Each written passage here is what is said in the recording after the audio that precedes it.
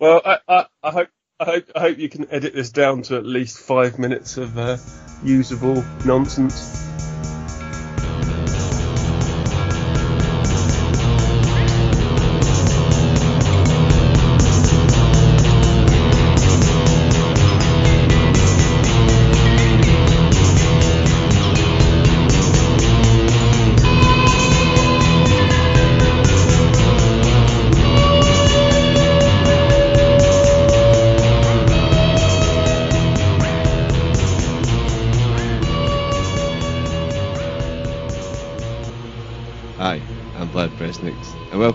The BresnixCast. We are now on episode 12, and frankly, this one is a belter. So I talked to Joe Thompson from the band Hey Colossus, and as usual on this show, the tangents flowed, and we got into some really interesting topics, and it was all in a good banter mode, so I think you're really going to enjoy it.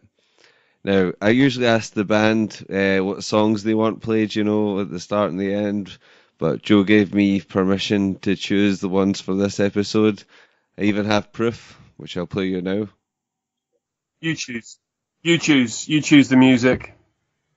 Yeah, oh, absolutely. Makes no odds to me. And um, same with pictures and words. I don't care. Just do what do what you think's right. Anyway, this is a great conversation we had. It's insightful and it's a laugh all at the same time. But before we get into it, let's listen to some Hey Colossus to get us in the mood. So, from the album The Guillotine, this is Englishman.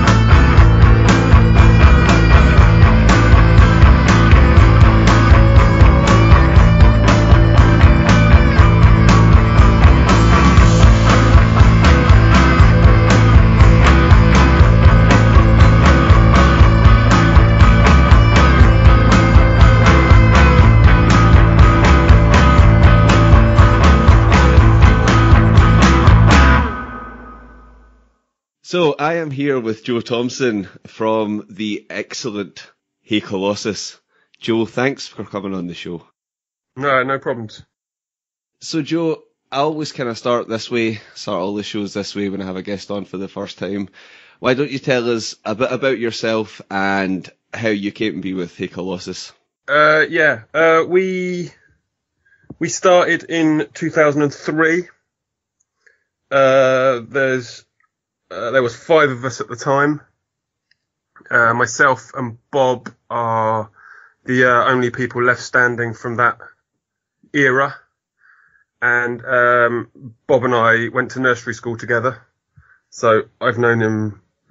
I, I've known him longer than I've known my brother. Um, and uh, yeah, we just have always played music together. We were in our first band together when we were 12, and uh, we did Dire Straits covers. And uh, yeah, yeah, you can laugh. No, Um, I think that's uh, and, hey, hey, uh, they had some good songs. Mark Knopfler's from Glasgow. Wait, is it? I thought it was Newcastle. I get told it was Glasgow. I'm googling that. But anyway, sorry to interrupt. Continue. Well, continue while I Google. No, no, no, no, no. I know. I like, uh, I like, I like some Dire Straits knowledge as much as an X-Man. Don't worry about that. Um, what we were, we were, we so that was super young. Like we're, when was that? That was about 80, 986. um, and then, uh, then we did a more like indie punky band for about 10 years. Uh, and we ran our own little record label and um, got lucky with some stuff like John Peel and things like that. And then around 2003, my brother, who was the drummer in that band, moved to Brisbane. So we stopped that band and decided to do a new one. Uh, so we put a advert on the um, Fracture Forum, if you remember that. Do you remember that fanzine magazine? Oh, It was like a yeah. punky sort of magazine. Aye, vaguely. uh, Yeah, yeah, they, they had, yeah. Well, they had a forum back when people looked at forums, and uh, we put an advert on, on on that in around 2003, and uh, got three people in, or two of which we knew anyway, and then one extra person, and then the five of us had our first rehearsal June 2003, first gig September 2003, and then since then we've released as much as possible. yes. and to clear up the Mark Knopfler question, okay, we're both right. He was from Oh, oh, Wikipedia. yeah. He was born in Glasgow but raised near Newcastle. So we were both Ah, right. there you go. Yeah. No, well, that's good. Yeah, I'm glad neither of us can be unhappy. That's nice. right. Well, let, us not let's not dwell on So, Mark yeah, Knopfler. but but like you know, when when we were 12, like in the mid 80s, you just played rock. Like, you know, whatever. It's fine. I got no, I got no shame. hey, I wasn't slagging you off, man. I like a bit, I like as much Dire Straits as the next man. Yeah, don't worry about it. It's cool. It's alright. It's fine. To be honest, we couldn't play it. It was too complicated. I know that was. Aye, that's why you do. Yes, that's why you do Ramones covers because it's much easier. Yeah, exactly. but, but right, back to you. This show should just be called the Tangent Cast because I always go off in tangents with people. But um, right, the Guillotine, your most recent album, came out 2017. For a start, why why the Guillotine? Yeah, I think um well Paul wrote Paul's the lyric man and we sort of try and normally let him uh give things names. And it was it was for us it was a fairly uh political record, I guess. So the guillotine makes sense. Cuz um you know, like it's just all the, the, the, the shambles of the last few years. I don't know. You couldn't help be. I don't. I think most bands couldn't help be uh, affected by it one way or another. Do you know what I mean? I don't think we're the only ones to have done it over the last couple of years, like the Nod record, for instance. Um, yeah, but you, you couldn't help it. So Yeah, and it's it's quite an interesting album for you guys as well. I mean, like the way when I first listened to it, it was like, you know, like obviously you've got like Honest to God, and then you've got like Back in the Room, which is like, you know, it kind of feels like you're sort of verging on the edge of sanity listening to it, and then like as soon as like the the madness of like the crescendo of back in the room ends, you have this kind of like when you get into thing that um Calenture Boy, it's like the relief that comes, you know, like after all that insanity of back in the room. Um was was that Nik Turner from Hawkwind, wasn't it, that played saxophone in back in the room? Yeah. Yeah, it was. That um came about because um uh this is the this is the story. Is Rhys, our drummer, his family are from um like uh, South Wales. Um right in the far corner of Wales. And uh Rhys has got a kid. And his kid was at his at Rhys's parents' house and Rhys went to pick him up, and there was this old boy there, and Rhys's mum was like, "Oh, like this is this is Nik. He's come to pick up his grandson. They've been playing together, like Winston and this guy's grandson." and like Rhys, like, like that's just like not just Nik. Do you know? What, like that's like Nik. T- You know. So, so, so they just got talking and, and they met because of Rhys's son Winston and Nik's grandson. you know, so they just got friendly, and it just happened like that. And you know, he's a he sent oh he, we sent him the track, and he covered it in about five or six layers of saxophone, like from start to finish, like wailed away over it, and uh, it got edited down. But I think I'd love one day for the uh, full saxophone uh, version to come out because uh, it was pretty. Um, you thought you thought that version on the record was full on. Holy crap! I can only imagine. I Yeah. and it's funny because like in this album, there's even songs like Englishman and stuff like that, and it's kind of like more lyric driven, and it's almost like I kind of hear it like to be kind of a bit more crisper and melodic, you know, compared to a lot of the stuff you guys have done in the past. Yeah, I, I'm sort of like uh, uh, some people sort of say like XTC the place in certain places, and I've I've like I sort of believe that a band like Fugazi is essentially the police. Like if you Go if you on. listen to a Fugazi, yeah, yeah. I'm listening. You've just bought ten minutes of my time. if you listen to a lot of the Fugazi rhythms and the way they move around, and then put away any uh, anti-Sting feeling you've got, of which you probably have some. Yeah, my guess is you have some. Um, well, I only guess you have some because it seems everyone has some Well, come on. if you forget Sting. that, if you forget that, you can, yeah, I know. Uh, well, no, I, like no, I, I'm with you. Okay, so you sort of have to forget, you, you know, all the shit, the, the, the post shenanigans musically and sexually, and think about the way they move their rhythms around, and then listen to Fugazi again. Uh, Like you know, I, you'll be surprised. Give yourself a minute later and uh, go for it. But anyhow, my point is, is that songs like Englishman or Expert's Toll or whatever off the off that record, like you know, uh, you know, we all grew up. Listen, if we grow up listening to Dire Straits, you grow up also listening to the Police and stuff. And I don't see any, you know, shame in it. And, and like, and and I think that a band like Fugazi would have as well. If you you know, they're saying the Ruts or whatever.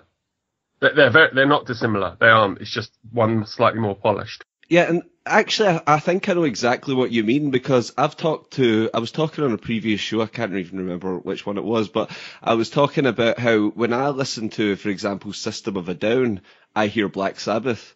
Uh, because the way they Yeah. structure the songs, the way they like, they will break off and bring the riff in, and then the rest of the band, the rhythm section will join in the riff. Just the way they do it, and that I can tell. Like actually, then like I'd heard them years ago when I was younger when they first came out, and then I thought it kind of reminded me of the Black Sabbath thing, and then I looked up and I found out they were influenced by Black Sabbath. So I know what you mean. So it's something about the way they construct the music where you can you can hear it. Yeah, no, totally. You look at there's footage on uh, like YouTube and whatnot of the police playing CBGBs, And, and honestly, if if it wasn't for the fact that Sting went on to do what he did, and you know, then pol- the police became absolutely enormous. You know, if they would have, you know, stayed down at that level, people would be talking about them now, and you know, in a different way. I don't know. We like them anyway. It's interesting, but I like these. I like these kind of abstract musical discussions. I do. I mean, I remember there was a Billy Corgan quote when he he said to Peter Hook, um, like Joy Division or a uh, Joy Division were a metal band, and Pete, he said that Peter Hook knew what he meant. Yeah, yeah. Well, like you know, the the the boundaries shouldn't be there, you know. And and I like as a band who sort of has sort of genre skipped a little bit in terms of like early on being quite hefty and you know drony and whatnot. And I don't know. I don't see any shame in it. I you know I think it's healthy, and I, and I also think that any band that sticks doing the same music for what we've been going for about 14 years. Any band that's been going for that long who is still doing exactly what they were doing at the beginning is lying. Yes. I, honestly, I think they're I think they're they're lying, and and I think and they're not to be trusted with your children or or even the TV. remote. You, you don't give them anything because they're lying. No, but I think you're so right because how, how what are these big bands you hear and they make the same shite album every fucking year. Like my brother is like enamored with U2. He fucking loves U2. And you know maybe they went through slightly different periods. They're not as inane as some of the other bands I can think of that like fucking hmm. Coldplay. But like. See, like, the funny thing is, Coldplay started off pr- kind of interesting and got progressively worse, the scientist excluded. But Yeah. I know what you mean. Like there is this kind of thing that there's some bands and it's just like it's just let's just churn out the next album and it's like uh, when it's the same thing. I mean, you lose all interest. The most interesting bands I've ever heard are bands that have like ex- like moved into different genres. Bands that if you were you can't just say this is a like a punk band or a, a this or that band. You know, the most interesting bands are like well they've done. You know, it's it's bigger. Yeah, yeah, exactly. It's, I think it's, I think you got to mix it up. You have to. Absolutely, and we were talking about Englishman, and I've got to be honest, show what the fuck is going on with that video? That video is fucking crazy. yeah, it's it's good, isn't it? it's really good. I loved it. think, uh, It was Paul- mental. well, I, I I can you know I wasn't involved in the making of it, but Paul the singer is, and uh, a couple of his friends and uh, Paul's wife helped as well, and and they did it up in some woods down in South London, and. Uh, and I just think one of them wanted to wear a Morris dancer's outfit, basically. So they skipped around some woods for a bit. but like it, you know, it's it's it's the disintegration of uh, the uh, old school English person who is, um, you know, convinced that this land is his, and you know, you know, fuck those people, you know, like they just need to, you know, you got to move on. Like times are different. So, like, where do you get gl- where do you get glitter acid? Where, where's the gl- art shops? I've never seen glitter acid before. I've seen it in other forms, but that's a new one. oh, but um, we digress again. But that's what this show is all about. That's the whole point. That's why I like this better than sort of your print interview because I just like to have the banter with someone. You know. Mm, well, yeah, I don't know. We'll see. we'll see. Hey, it's fine. Don't worry. Don't worry. You're great. You're a great guest. I'm enjoying it. I really am. So, you make me laugh there. Right. So, Good. Well, I tell you what. What's your what's your story? What's your story then? my story is unimportant. I'm one of those kind of guys. It's not that important. You'll find out. You'll find out soon enough. Believe me, you'll find out. so, I want to talk about in memory of Uri Klangers, right? Because there is actually kind of an interesting story behind that. Tell us about that. Uh, the uh, the dedicated to Uri Klangers uh, album I, is what you're talking about, right? Yes. Yeah. Yeah. Yes. Uh, yeah, that is a uh, that came out on cassette in 2013, uh, um, and we just made them for one show It was like our 10th anniversary show in London, and we made um, as many cassettes as were needed for the night, and uh, the people who came could have one.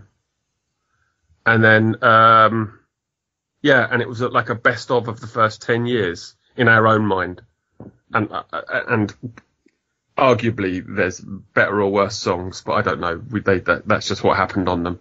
And then um uh like about three years later, uh the label MIE who released um uh like a um the uh, the album that we released around 2013 Cuckoo Live Life Like Cuckoo he got in touch in about 2016 and said um that his cassette copy of that compilation album was broken. Um, and could he release it on vinyl? So that's what happened. So when was it? Like last year, I think it came out. Yeah, it was late just- 2016. I think it was December. Right, yeah. So it came out around then, and he he he he wanted to do it, so he made like whatever it was, 500 copies, and it came out real nice. Like it's lovely, sort of like double album with loads of information and some like like a sort of a ludicrously long, small text story that no one can read because the words are too small, and I don't know. I, ju- I just think it's really nice, and it's actually even got another song on it that wasn't on the cassette. Um, but yeah, and I don't know. I really like it.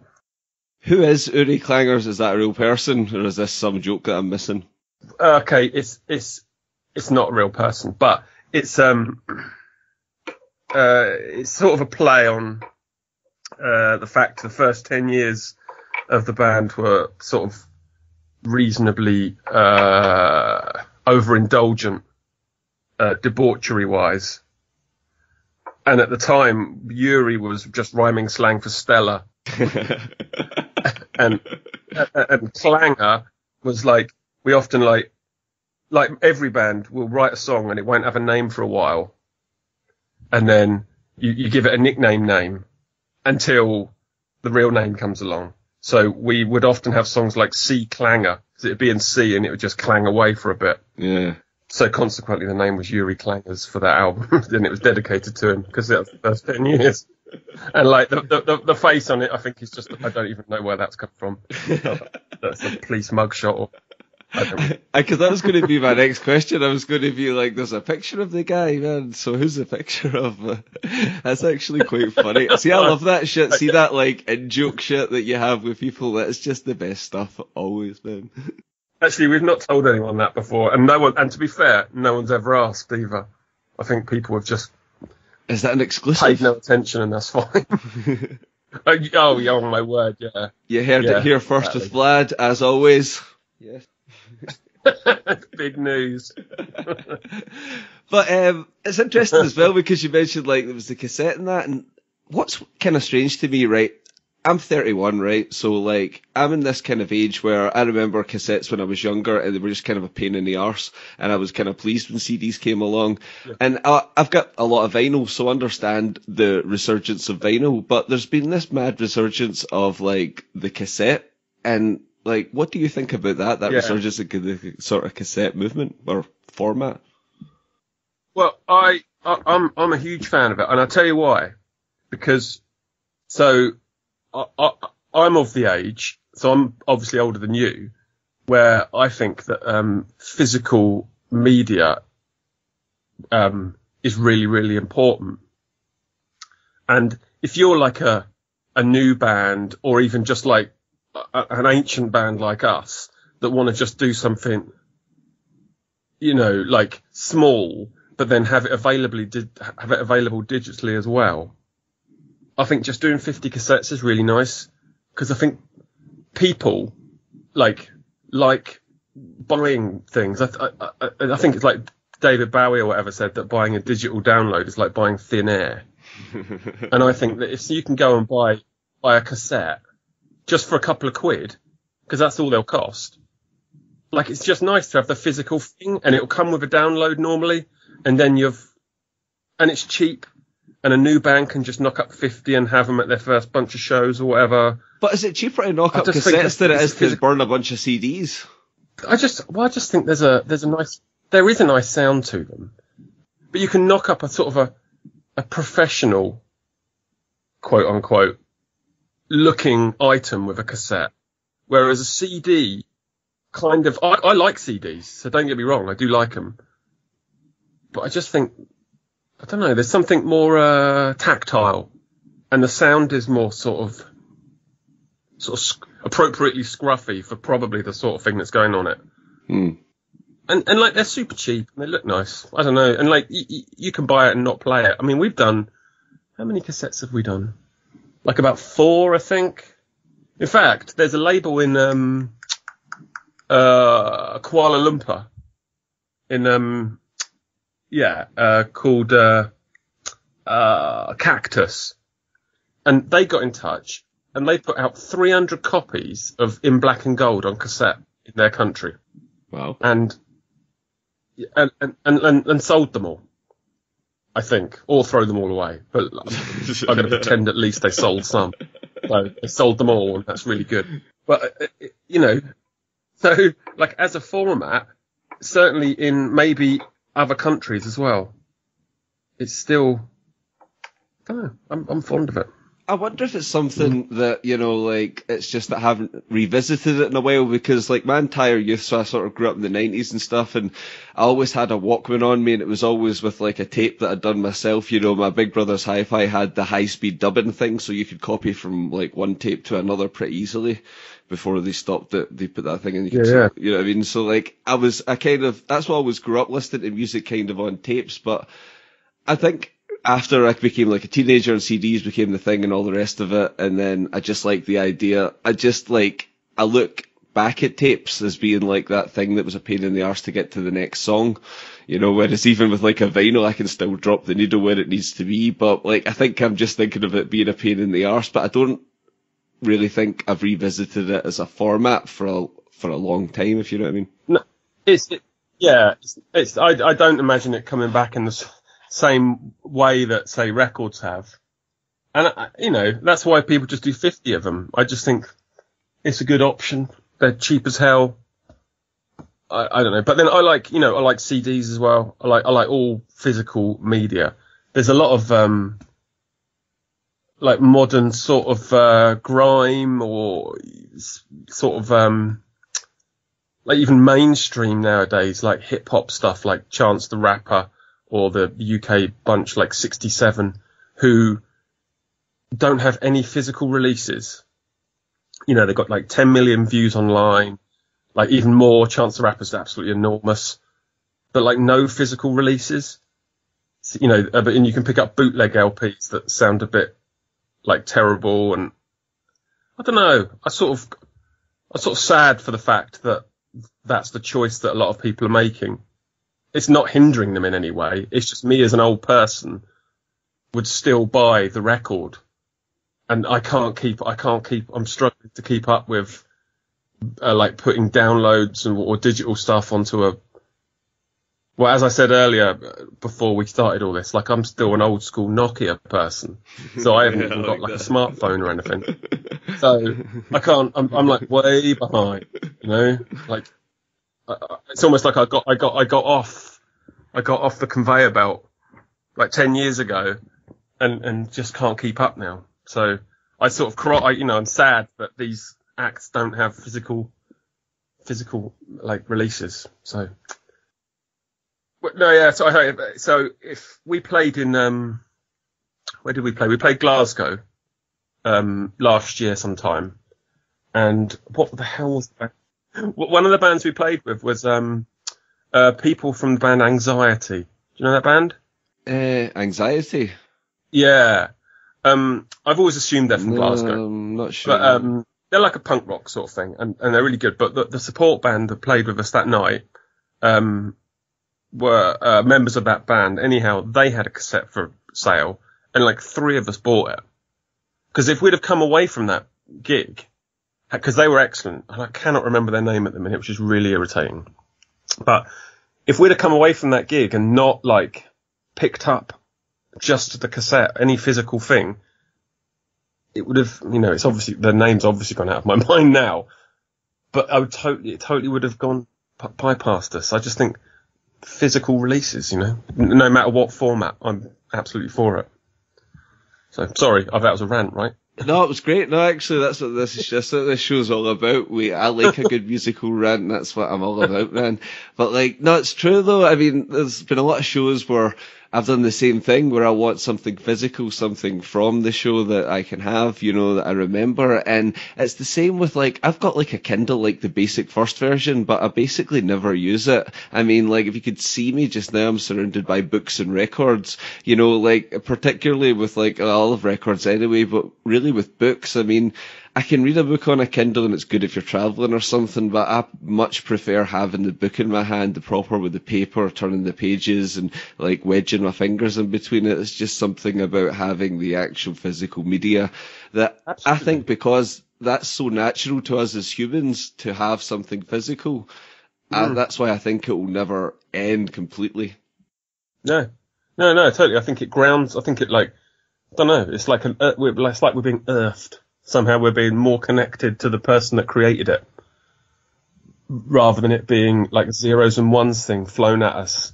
And like, and I think that if you've got, if you've bought uh, like a cassette, which m- maybe you might think is an inferior format, and you've got it there and it sits on your shelf, and like I'm looking at my shelf now and I've got a big pile of records there, and I'm thinking that's reminded me now. I'm going to go and listen to, you know, the thing that I'm looking at, you know, and it's reminded me to do it. Or if there's a book on the shelf and I'm looking up there and I'm thinking, oh yeah, like, and, and, and also when, like, so say you're 31, right? So you probably bought, you probably bought a CD when you were 15 and it might have been like an at the drive-in CD or whatever it was.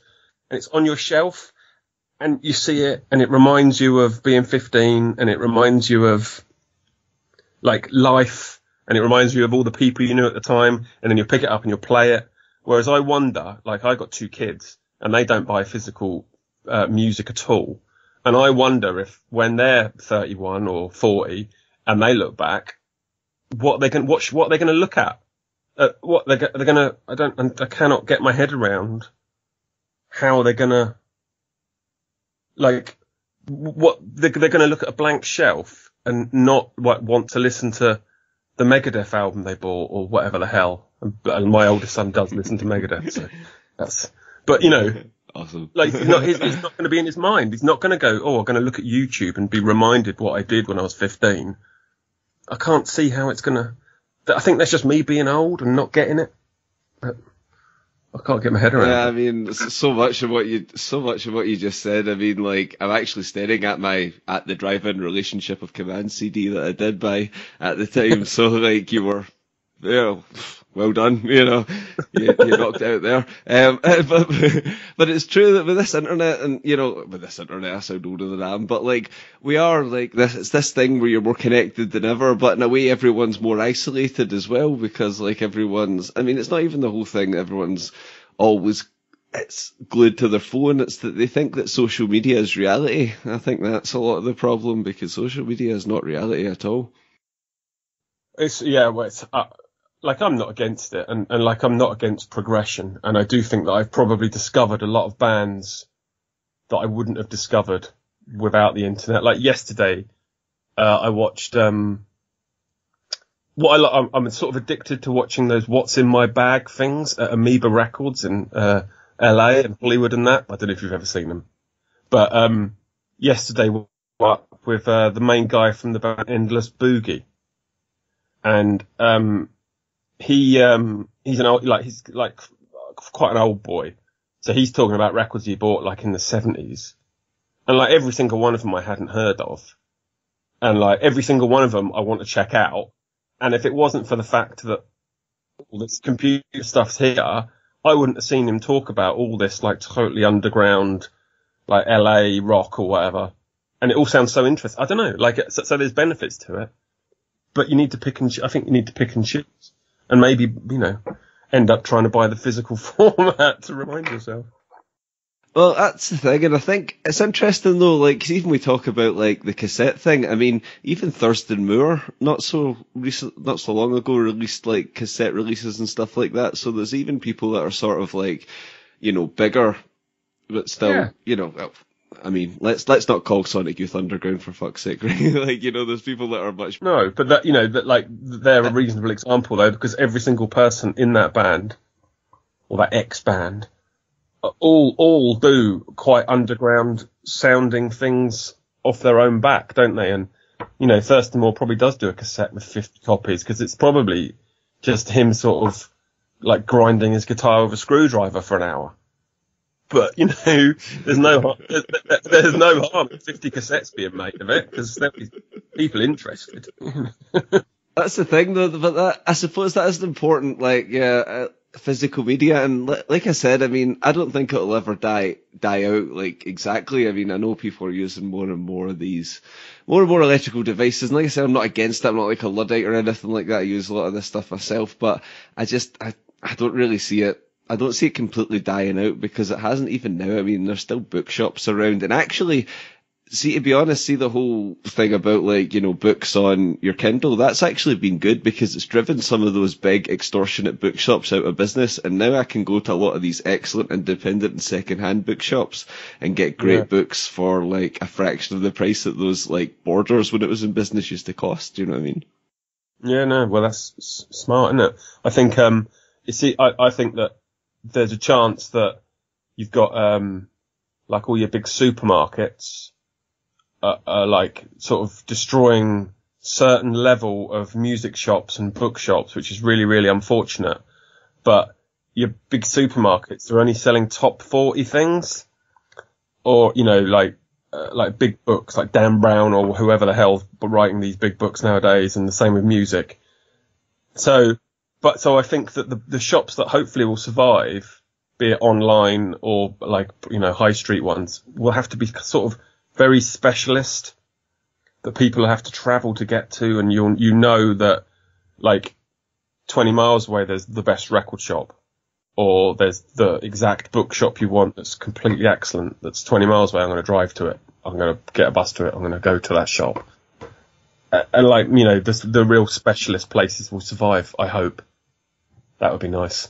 No, I think they will because I think there's enough people that are still. I mean, like the vinyl resurgence has been, you know, quite a thing. But I know what it's like. It's like you kind of like you go into like I, I've not I've not been into like HMV or one of these places in a long time. But like uh, I know that what they're basically they're, they've started like reissuing all these old classic albums on vinyl now and featuring them and stuff like that, which is, you know, kind of interesting. But like it's still you know, like I prefer to get my vinyl from, you know, I buy my vinyl online. You know, I've got I've got a gripe about these big music shops. I'm one of those annoying guys. You know what I mean? Yeah, yeah. No, I like I like to I like to try and go fairly direct to the source, be it the label or the band. I, I must admit, I quite like. I feel like you're sort of supporting in a better way if you go direct. But I think shops are brilliant. I, I you know I I love standing in a record shop or talking to the people in them, and don't know. I could talk for I could talk for forever about this sort of stuff, and it would um don't know. The shop would close around me whilst I was standing there talking. Like, that-. Have you ever seen that episode of? Ever seen that episode of Father Ted when they're all trying to get get away from the really boring vicar guy, and he ends up just talking in the broom cupboard on his own. Yeah. he, he was like, uh, he was like, and they had to crash the car to claim the insurance. yeah, that's me. Yeah, going. Yeah, and cassette. First and ordered cassette, and, and there was three hundred of them. yeah, that's right. and I remember there was that weird scene where he's like, we had to run the gas off the electricity and the electricity off the gas. And so not the point when he actually, I'm just going to do it. I'm sorry, listeners, but I'm doing it. Fuck you. There's a bit when he turns around. If anyone hasn't seen it, there's like a kind of throw rug of Jesus on the sofa, and everyone leaves him. And he turns around and kind of looks at the Jesus one. And he goes, "Ah, it's yourself." yeah, ex- yeah, there we are. Oh, brilliant. But watch how I do a segue. I'm that good. So, you guys are talking about like vinyl. You're doing a re-release of RRR, or as I prefer to say, in March, I believe. And there's a pre-order on. So, why did you choose that one to do uh re like a repressing of it? Um, uh, that's um, Riot Season, the label. Um, released it originally. Um, when was that? Like 2011, I think.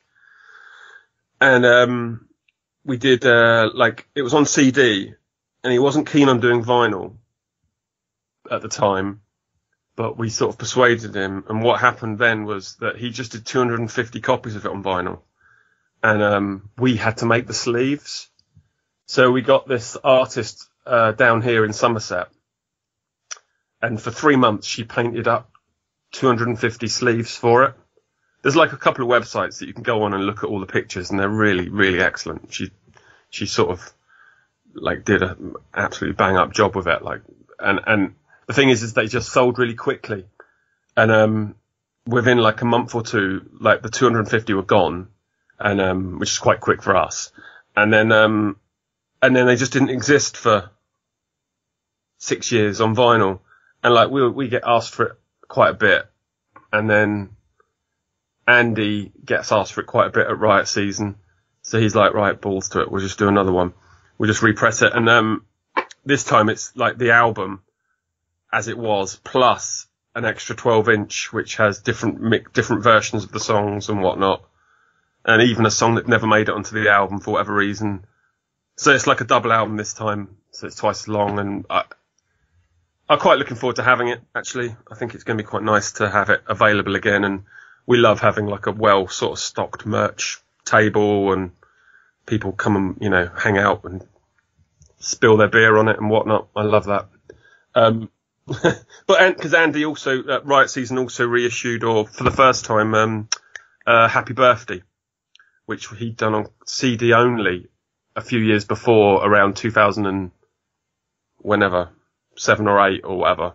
Um, that was just on CD, so he's so he did that on vinyl last year um, for the first time. Don't know. It's quite nice. It's quite nice that people are at least vaguely interested. So there, it's not you know, it's good. Well, of course, Yeah, I- yeah, I- it was a great album. Mhm. Like, uh, uh, uh, it sort of intrigues me that someone who might have, say, just got the last record might then see this and go, I'll get that, and then they get it, and it's sort of quite dramatically different, I guess. But I think that's a good thing, you know. Well, yeah, of course. I mean, that's that's the thing. I know what you mean. It is like, but that's the whole point. I mean, like if like if you're if you're one of these bands that like people are going to get you because you like I think because you've like expanded and changed your sound. You know what I mean? The kind of like thing that you guys do. It's the more kind of it's what I call kind of music guy stuff. It's like to put it in other terms. It's like you know they say like you know, like Bill Hicks is the comedian's comedian. It's that kind of thing. There is like music guys music, if you know what I mean. Yeah. If I'm making myself clear, I mean, people that are just obsessed by music, you know, you see these people all the time, you know what I mean? I know, like, all my friends are the same, you know, they're just, and that's the funny thing, we're talking about the internet and stuff, and that's what I think it can be a good thing, because the people I know, like, and myself included, will use things like Spotify and iTunes and stuff, but when we find a band we like, then we will go, we'll find them, and we'll physically buy their stuff, like, from their website, their Bandcamp, or whatever. Um, Yeah. So there is a community of people, and I know there's people all over that do that. So it's really kind of good that way. No, I, I, absolutely. That's what I, I mean. That's what I was saying about the um, watching that "What's in My Bag" endless boogie guy yesterday. Is it totally made me want to go out and check out everything? And there is certainly, you know, some people might just just want to listen to it on Spotify, and that's fair enough. And some of us, you know, quite like hunting down the records or following it up. You know. Yeah, no, absolutely. And I suppose it's just, you'll always get that kind of thing. It's the same, I assume it's the same thing, whereas I just watch films on Netflix. I assume some guy's doing like a film podcast right now and he's raging about guys that just watch films on Netflix and Amazon and he's like, they don't even have the VHS or the Betamax and I'm raging about that, you know, like I assume that's Yeah. No, well, that's that is true because that's me. Although I do go to cinema, you know, I, I do go to cinema, but I do watch on Netflix. But you pay to do Netflix, don't you? Like it does. I guess it costs. Oh yeah, I, I, I don't know. I don't. I don't know. I can see. I totally see your point though. Where here I am, exactly like you, like getting angry, like. yeah, like and now I'm then. Uh, Oh, there I'm, I am. not, I'm not criticising you, and I don't want you to think that. I'm just having a bit. No, no, no. Now I'm sad. It's fine. Let's not be sad about this because it's a good thing because there is people that like now we can find stuff that we couldn't find before. You know what I mean? Like for without the internet, I couldn't do this show. And I mean, when I was younger, let's like the thing I used to love watching was VH1's Behind the Music. You know, I've said this a bunch of times. And Yeah, yeah. then when I was like, I used to do a bit of podcasting and radio and stuff years ago. And then when I decided to start to do a podcast again, I was like, I'm going to do my own behind the music, but with the bands I really like that you never hear about because that's how it like a lot of these bands I like, you know, like it's there's a there is a there is a big fan base of them worldwide, but you never really hear them speak a lot of the time, just in like a an interview, and I kind of like that sort of thing. You know, I think it's good to put some you know some narrative to the music. No, no, I'm into it. I, I listen to all sorts and watch all sorts online. Yeah, I, I'm like obsessed with certain. I always watch uh, like a sort of a King Buzzo or Steve Albini interviews, for instance. Uh, like I find Ah, them- yeah, Steve Albini's great, isn't he? yeah, I just find like he seems to sort of just cuts through the industry with like a, you know, he may have his flaws, but god damn, he's entertaining. you know, and I believe, you know, I, I Was it you know, not- half, half the stuff he says I think is really interesting. You know, like I think he's sort of spot on with a lot of stuff. You know, Was it not him? Maybe I'm getting him confused with someone. Was it not him that said that um, record labels used to take a damages fee off the band that was so heavy it would be the equivalent to someone taking an axe to the records? Like, it, actually, yeah, no, that does sound like him. It does sound like him. Yeah. I think that was him. That was uh, that was hilarious. That guy is great. He's so funny. And then he's got the he's got the producer record to back himself up. Yeah, absolutely. Yeah. And they, you know, apparently if he'd have taken like a single percentage point on what, what Nirvana album did he do? Like In Utero or whatever. Was it In Utero? Yeah, if he'd have taken a single point on it, uh, like he would have been made for life or whatever. I think he just took a flat fee, so that Oh. screwed him. Oh really?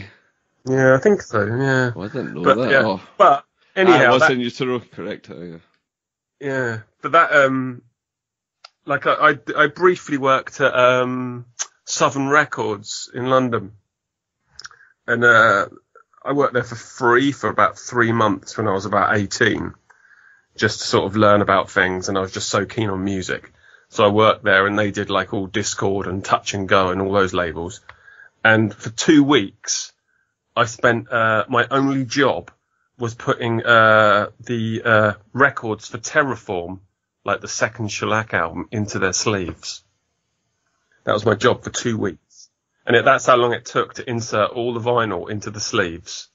And um, I don't know if you own that record, but the sleeve is like super heavy. So by the end of the two weeks, my sort of fingernails were pouring with like blood.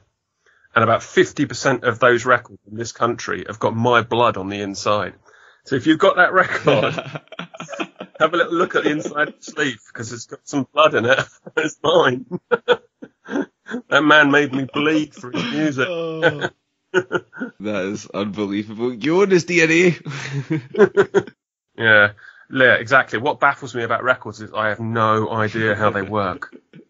Like, I- I put it on, and like the needle does its thing, and then it gets to the end, and for the whole of the 20 minutes, all this noise has been coming out the speakers, and I'm looking at the record thinking, okay, what's just happened? And, and I can't get my head around it. And, and, and, and it's one of them things that even if it gets explained to me, you could like, if you're like a super intelligent bloke and you go to me, okay, what happens is like the vibrations go through the needles and through the wires and come out the speakers. It still makes no sense to me. And I still have absolutely no idea what's happened. Yeah, everything seems like a miracle. Like, you know what I mean? Like, how does that little needle make that sound? And uh, the thing is, it kind of, I think it goes back to that Joe Rogan joke when he was saying, like, he was talking about like humanity in general. He's like, we've got a lot of people, we've got a lot of dumb people using smart things. And he's like, I'm not saying that everyone here is stupid. It's just that if I threw you out in the woods with only an axe, how long before you emerge with an iPhone? yeah, well, this is it. It's, I don't know. I'm just going to stay in ignorance and just enjoy it for what it is. So, like, as we're drawing to the close of the interview as we are, I've very much enjoyed this conversation. We could probably talk forever, show. It's, it's really been fun. You got to. Ma- I tell you what, you got to make sure next time we come to Scotland. No, I will be there. No, believe me, I'm going to be there. But we're not finished yet. So, where is what's the future for Hey Colossus? Um, yeah, we've got plans. We, we've got um, March. We're playing uh, Cardiff and London at the uh, Rocket Rocket Records 20th anniversary, um, which uh, is like three days at the garage in North London, and like it's like Gnod, Teeth of the Sea, Pigs. Do you know that band? Pigs, pigs, pigs. I was going to say pigs, that. Oh, yeah, I was going to say there's not enough pigs. The one that's pigs, pigs, pigs, pigs, pigs, pigs, pigs. I don't know just pigs. They, they, you know, they, yeah, exactly. Pigs times seven. Like they, they, you know, they, they rip it up, whatever. And like we're, uh, we're playing the Saturday night at that, and they're on before us, and Goat are on after us, and it just feels like we're uh, going to be like the, the total sort of. We, we need to sort of up our game a little in between those two bands, and also get some form of animal-related which we don't have. the masks from the Englishman video, they were animal masks. You could get the unicorn one and the lion one and all that. They do, don't they? Yeah. No, well, anyhow. So I'm now there- your manager. that, then we got four shows with the band Grey Hairs. Uh, do you know Grey yeah, Hairs them. Yeah, good band. Yeah. Uh, they're a decent band on Gringo. Yeah, they're really good. Um, so we're going to go to uh, France and Belgium with them in March, and then we're going to play Liverpool and Preston and Manchester and a bunch of other places. We got a fair bit lined up. Plus, we're always beavering away uh, as well because you know we like releasing music and whatnot, and it gives us an excuse to travel and meet good folk. So that's what we like doing. Absolutely, Joe. And like I said, thank you so much for coming on. Um, I've really enjoyed the conversation. And I really enjoyed talking to you, like, especially, like, see, getting into the stuff like the physical media thing and all that sort of stuff. Like, that really interests me, and I talk a lot about that kind of thing, like, and, uh, ask people a lot of questions about it because the way the music industry's uh, been changing is quite interesting to me. You know, we're going from you know, like a physical like world to like a streaming world and stuff like that. So I've always found that stuff quite interesting. You know. No, I, well, it fascinates me. It, uh, I'm, I'm like a, I'm a nerd for all of the music industry. Like even like things I don't like or things I do like. Like I don't necessarily like, uh, uh, what's his face's music? Um, the really popular ginger guy, solo, loop pedals, Wembley Stadium, Ed Sheeran. I don't, I might not like his music, but I'm fascinated by how he's got so big. Like, you know, he was doing 200 shows a year. So it's not like he appeared from like totally nothing. And he's just so damn big. And now he's got a song with Eminem and all that. It absolutely fascinates me. And I thought we were finished, but we are not finished because like like. No, no, that is absolutely true. I've always thought that as well. I've been like, what is the thing? Like, a lot of bands I've really liked, like, over the years and stuff. Like, I've thought, what is the thing? Um, what is the thing that makes me like them? But then, what is the thing that makes some people like, like, why is it like a band like Radiohead, uh, become huge, whereas ones that are, there's bands that are maybe sort of similar at the same time that were coming out, what is it about them? You know, like that kind of thing has always interested me, and not even that, even in a broader scope, like in political ideas that are put out in certain ways in the media. What is it that wins over masses of people? That's always been a fascinating question If he, you know? Yeah, well, it's, it's, it's the X Factor thing, and I have absolutely no idea. It's, it, it, uh, but you know, I'm a, I'm a, I, s- I like to study it. I've got, I read, you know, I'm fascinated by it. Like, you know, Ad- you know, Adele and whatnot. Like, she can sing like hell, of course, but still, she's so damn big. It amazes me. But it's shite. But yeah, well, whatever. It's not, it's not, it's, it's just, but it is. It's like- but, but but it's not even. That's not my opinion. That's You know, I'm sub- not like- that's objective. It's not subjective. It's yeah. Uh, just I don't understand. it's fact, right? You're saying fact. But that's the thing. But like, no, the thing. so who, right, so Go. who's, who, tell me who, who's, who's the biggest, who's the, the biggest band that you The like? biggest band that I like. Do you mean historically or currently? Okay, let's go current. Um, the biggest band that I like current. Well, right, the Smashing Pumpkins were always my favourite band growing up, and they're technically still going, but that's not the Smashing Pumpkins. That's Billy Corgan and a bunch of other people, and him embarrassing himself. But like, but um, no, I can't think of who the biggest, uh, the biggest current band I like are. Uh, let's just even go with something like Nine Inch Nails. Right. Yeah. So, but it's quite, but you know, like they they would have got to the the size they are by doing some things that maybe ethically you might think is wrong or whatever. Like if you think Adele or Ed Sheeran. I'm like, I, I, I would say for me, it's like Kendrick Lamar, maybe. I'm a huge fan of his. And I think he's enormous. And it, it fascinates me how it's happened. I just, I love it. And I think like with your Smashing Pumpkins or whatever, I just think it's, I don't know. It, fa- it fascinates me that, that, that this happens and it's, and, and I love the fact that there's the huge music industry and then there's the music industry that sort of isn't really a music industry that just bubbles underneath that, But it's there, yeah. you know, bands can ex- in, exist in a different way and go to Glasgow and play to 100 people or whatever. I love that as well. Well, that's I'm the whole thing. I mean, like, I'm going to start know, they both yeah, I'm going to start doing this kind of serious thing that's something for the future, but I'm going to talk about this, but like, because one time someone had said something ludicrous to me about like, bands are only good if they're big, and I was like, oh my god, like, let me, let me overwhelm you with the evidence that proves the contrary. yeah, right. Uh, Joe, I've Well, taken yeah. up like an hour of your time. Like, I could probably talk to you for about five more. Um, but I've really enjoyed the conversation, Joe. Thanks so much for coming on the show, man. It's been great. Oh no, it's been good fun. It's been it's been a lot a lot of fun. So thank you very much.